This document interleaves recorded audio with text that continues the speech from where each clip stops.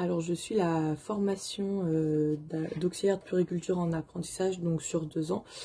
Euh, je suis sur ma deuxième année et mon alternance c'est dans une crèche à Annecy. J'ai choisi l'apprentissage parce que ça nous permet de voir la théorie en pratique. Souvent, euh, juste après les cours, on est en apprentissage.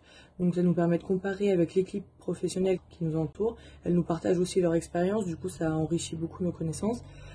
Et aussi en apprentissage, on apprend euh, du travail des professionnels qui nous entourent, des choses qu'on n'a pas vues en cours, ce qui nous permet quand on revient en cours de discuter avec nos formatrices, avec les filles de la promo pour voir elles comment ça se passe dans leur euh, crèche et de comparer ensuite avec les cours. Le cursus m'apporte euh, une variété d'apprentissage donc entre les cours, l'apprentissage mais aussi donc les lieux du stage où des fois on n'a pas vu la théorie avant d'arriver en stage, du coup euh, c'est une, découverte totale quand on arrive sur le stage.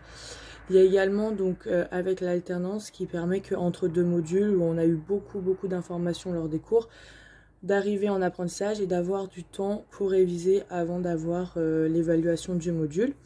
Et aussi il y a un côté financier qui est pour ma part euh, que je trouve plus accessible pour tout le monde parce qu'on n'a pas de frais de formation et avec l'apprentissage du coup on gagne un petit salaire.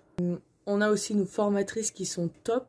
Elles nous partagent, pendant les cours, elles nous partagent beaucoup leurs anecdotes qu'elles ont eues pendant leur métier d'infirmière. Donc ça nous aide beaucoup à visualiser les cours. Et ce qui pourrait déplaire donc dans la formation en apprentissage, ça peut être les lieux de stage qui sont difficiles à trouver par nos formatrices. On sait qu'elles font euh, de leur possible pour nous trouver des lieux d'apprentissage euh, au plus proche de chez nous.